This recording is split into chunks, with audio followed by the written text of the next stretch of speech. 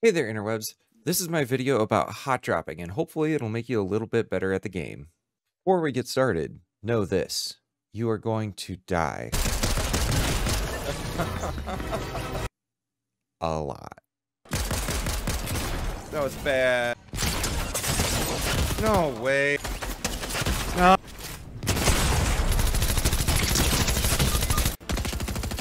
No. So the first thing you guys should know is that hot dropping is actually a really good way to get better at the game quickly. It puts you right into the action and helps you increase your looting skills and your ability to fight. The better you get at these hot drop situations, the better you're going to get at non-hot drop situations where you don't have to fight as many people at once. So any named location on the map is going to be a hot drop. There are a few hot drops that are more hot than others. So my preferred drops are Frenzy Fields, Slappy Shores, Shattered Slabs, and Brutal Bash. I suggest learning two locations on the map. The two that I always go to are Frenzy Fields and Slappy Shores. These two are far enough away from each other that basically one of them is always going to be close enough to the path that the battle bus is taking and will be within reasonable drop distance. The reason I say to pick two is you really want to learn these two locations. You want to learn where every single chest spawns, where every single ground weapon can potentially spawn spawn. So that way that gives you the best opportunity to land, get a gun, and start getting kills. Something I want you guys to keep in mind is not to get carried away with looting when you hot drop, especially early on in the drop. Get a gun and some shields, and make sure all players that landed within the immediate vicinity are eliminated before you go on and really start looting more, where you have your back turned to people and potentially die to them.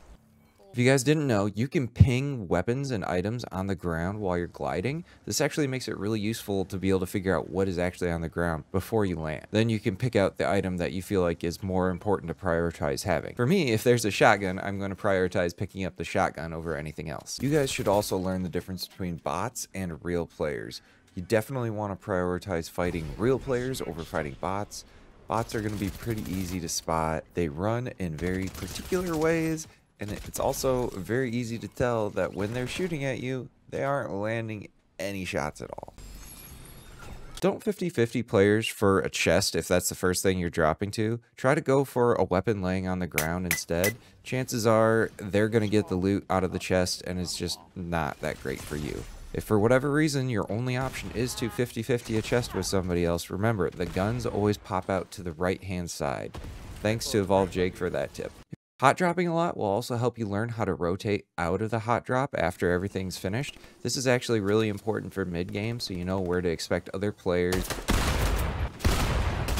Another thing to keep in mind during hot drops is you don't necessarily want to thirst people right away after you knock them. This can waste valuable time for you where you might need that ammo to fight somebody else as they approach. In hot drop situations, if people hear shots, most likely they're going to be pushing towards those shots because they know these people have just fought Therefore, their shields are probably low, so if they haven't been in a fight yet, they're probably going to know that, hey, I have a better advantage in this fight than they do. More advanced tip that I struggle with a lot is counting the amount of players that are actually landing at your hot drop with you and keeping track of that in the kill feed. This can be super helpful for knowing, hey, this many people landed with me, there's been this many deaths in the kill cam and I've heard this many shots and stuff fired around. This can be super useful to you if you can keep track of all of it, but it is a more advanced skill to have. If you're playing a team game mode, I definitely recommend landing as close as possible with your teammates. The closer you guys are together, the easier it's going to be for you guys to help each other out. 2v1 scenarios are definitely better than 1v1s or a 1v2 in worst case scenario. Obviously, don't land right on top of each other otherwise one of you is not going to get any loot, but definitely try to stick close enough to each other that if one gets in trouble, you can help the other ones out. Long story short, guys, hot dropping is great for getting better at the game. It's going to get you into fights quicker. It's going to put you in more unique situations more often so you can learn and get better at the game.